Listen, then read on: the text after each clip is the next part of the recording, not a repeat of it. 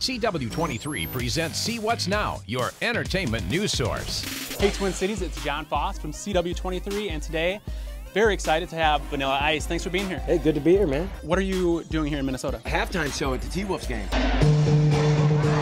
And it was fantastic, amazing, energetic, magical, you know, event. Love Minnesota. Got a lot of friends, got a lot of, you know, people out here that I, I just love coming out here to see. What are you doing right now? What what can we expect from you in the future? Right. Right now I'm currently filming season five of the Vanilla Ice Project. Okay. I have a show airing on DIY Saturday nights. Vanilla Ice goes Amish. Musically, I have seven songs completed and it's taken about a year and a half. And then I got to spend the rest of the time with my family, having fun, racing motocross, and enjoying my life. That's how you get in where you fit in. That's right. yeah. Holla. And you know the words. Pop cholla. That a wrap? That is a wrap.